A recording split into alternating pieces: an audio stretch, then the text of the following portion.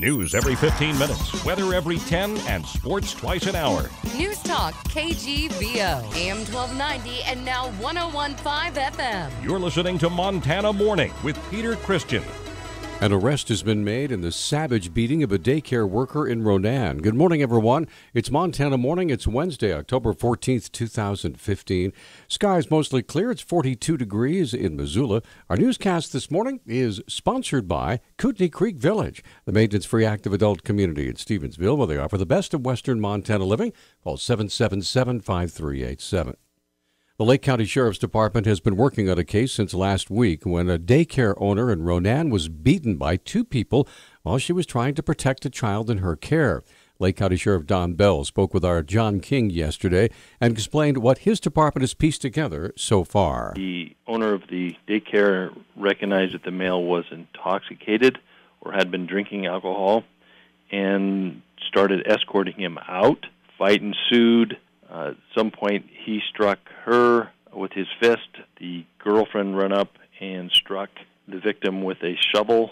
She had some pretty severe injuries. The male suspect, Francis Jackson, has now been arrested largely because of the efforts of a detective that used to work for the CSKT Tribal Police. Through investigation and tips from assistance from a former law enforcement agent here that used to work for the tribe, a gentleman officer named Arnon Ald, that used to work for the tribal police here, worked for the Kalispel police in Washington, at Usk, Washington. Got a tip where that male might be, got a search warrant, executed that warrant, and he, Mr. Jackson, was arrested. The girlfriend that used the shovel in the beating still has not been found. She's still at large. The couple have been charged with simple assault, assault with a weapon, aggravated burglary, and custodial interference.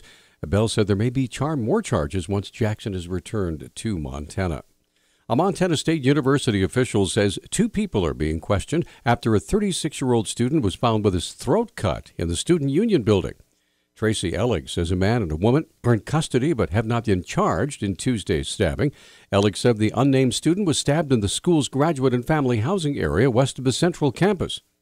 He made his way to the Strand Union building where medical personnel working at a blood drive spotted him with his hand over his throat. Ellig said they gave him medical assistance until an ambulance arrived.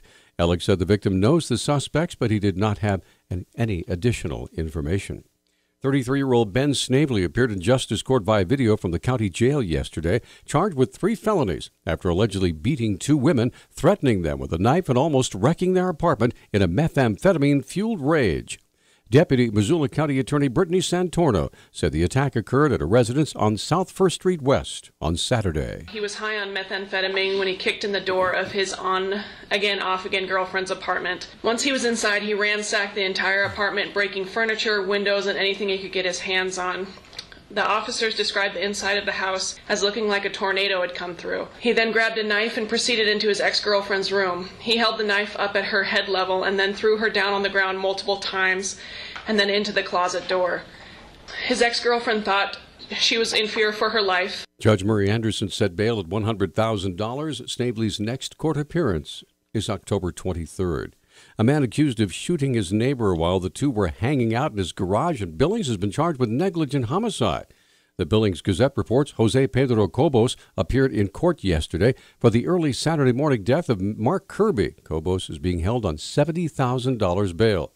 According to charging documents, he and Kirby were drinking in Cobos' garage in the southwestern part of the city into the evening on Friday. Kirby's wife heard a loud bang early Saturday morning, went across the street, found her husband lying on the ground with blood coming from the back of his neck. This week, Missoula law enforcement and mental health professionals are receiving refresher training as part of the Crisis Intervention Team.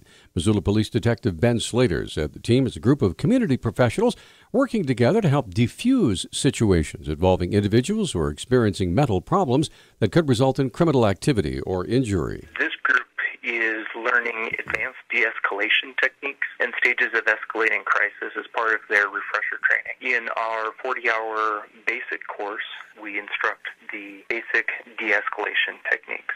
Slater said the goal of the training is to have a successful outcome in every crisis situation. As law enforcement, our successful end is always to have everyone walk away from a situation safely. When we look to de-escalate a crisis, we do want to help take that individual out of their crisis state. And the next part of CIT is being able to assist them to one of our local resources. Those involved in the training include the City Police Department, the Missoula County Sheriff's Office, and the Western Montana Mental Health Center. Wildfires burning on prairie land in five states from Wyoming to Iowa have killed pets and livestock and destroyed more than a dozen homes. The worst so far is a fire near Casper, Wyoming, that's burned almost 15 square miles of dried out grasslands. The fire began at a landfill Saturday and spread rapidly Sunday and again Monday.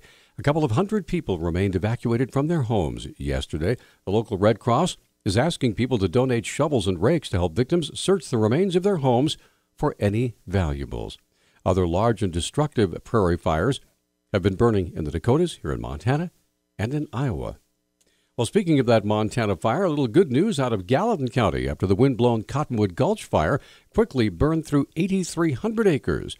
Fire Information Officer Carrie O'Connell, O'Connell rather, says the situation is becoming much more manageable. No one has been evacuated. We've reduced the number of homes threatened down to 20. We were saying there it was about 50. Now we're down to 20, and that is reflecting it's been reduced quite a bit with some good weather, with some good work, some water, and and some you know elbow grease. Containment was at 15% yesterday. O'Connell predicts containment will only go up from there. We still have black coming right up close to some of the houses, um, but we're, we're continuing to go interior from that perimeter and continue to cool that down. I would say we've probably seen the worst of this fire that we're going to see. So far, only one outbuilding is burned down. O'Connell said there have been no injuries. The fire is human caused, but not likely arson. And the three plaintiffs who filed a lawsuit seeking to block the transfer of a hydroelectric dam to the Confederated Salish and Kootenai tribes are dropping the case.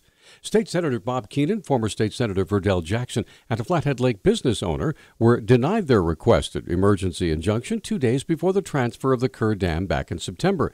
The dam has been renamed the Salish Kootenai Dam.